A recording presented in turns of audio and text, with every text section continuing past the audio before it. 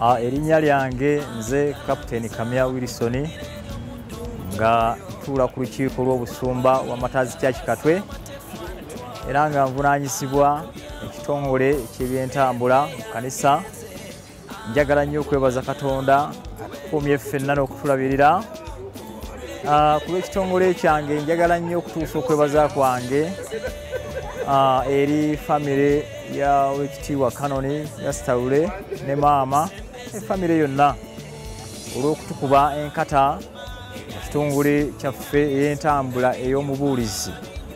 Entambula eyo ebadde yakwatibwako nga esondebwa naye nga mumanyi embeera bwetambula nti si ya mulembe gyo mu byenfuna. Naye tubadde tuli awo mu kwebaza olwaliro nga yebaza lwa mukama byabakoledde mu bulamu n'olwokwebaza okwa munnaffe nerisoni n'omukyala ne batukuba enkata ey'emmotoka empya gye twaliise akanamba mu njogera ennaku zino nga bweri.